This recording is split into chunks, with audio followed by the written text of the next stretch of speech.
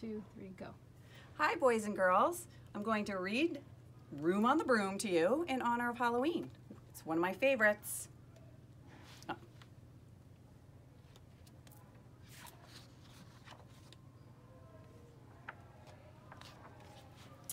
The witch had a cat and a hat that was black and long ginger hair in a braid down her back.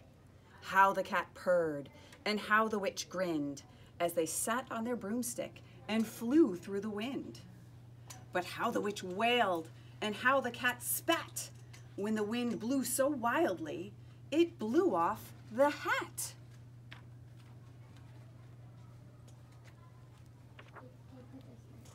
Down! cried the witch, and they flew to the ground. They searched for the hat, but no hat could be found. Then out of the bushes, on thundering paws, there bounded a dog with a hat in his jaws. He dropped it politely, then eagerly said, as the witch pulled the hat firmly down on her head, I am a dog as keen as can be. Is there room on the broom for a dog like me? Yes, cried the witch, and the dog clambered on. The witch tapped the broomstick, and whoosh, they were gone. Over the fields and the forests they flew.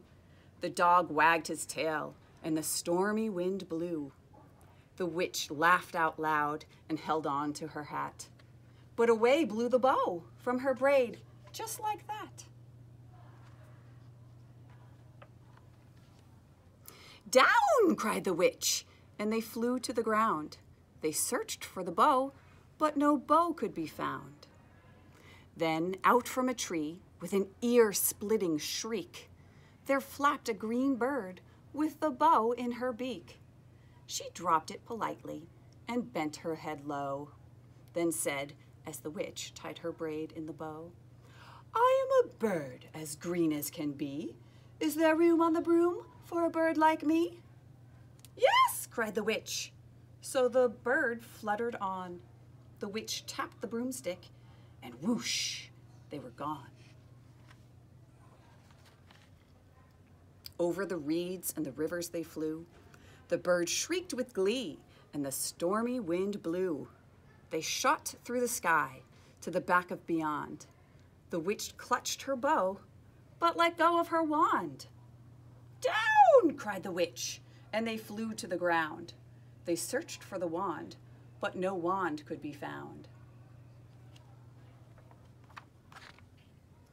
Then all of a sudden, from out of a pond, leaped a dripping wet frog with a dripping wet wand.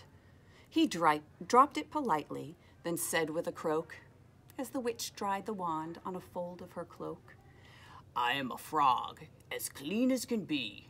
Is there room on the broom for a frog like me? Yes, said the witch. So the frog bounded on. The witch tapped the broomstick, and whoosh, they were gone. Over the moors and the mountains they flew.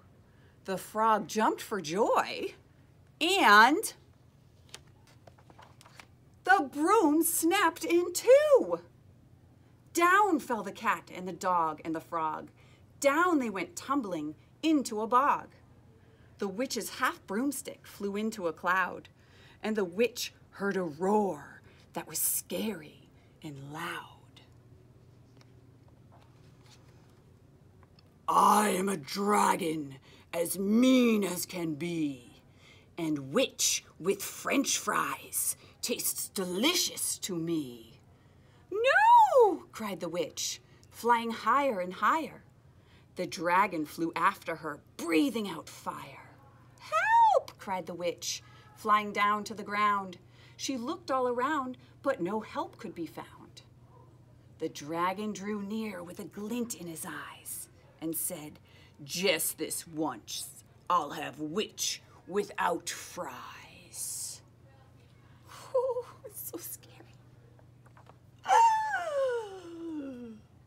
But just as he planned to begin on his feast, from out of a ditch rose a horrible beast.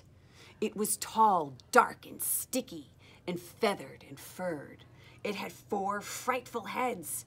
It had wings like a bird.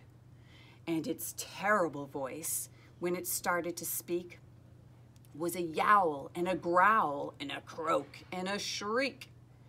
It dripped and it squelched as it strode from the ditch and said to the dragon, Buzz off! That's my witch! The dragon drew back and he started to shake. I- am sorry, he spluttered. I-, I made a mistake. It's nice to have met you, but now I must fly. And he spread out his wings and was off through the sky. Then down flew the bird, and down jumped the frog.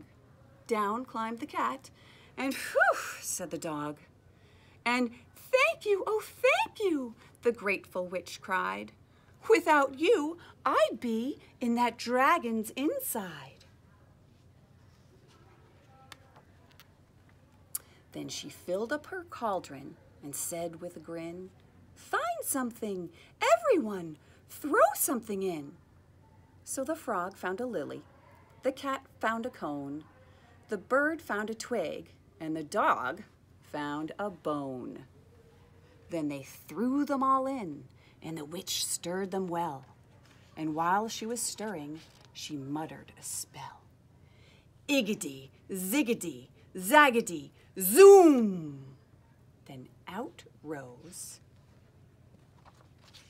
a truly magnificent broom with seats for the witch and the cat and the dog, and a nest for the bird, and a pool for the frog.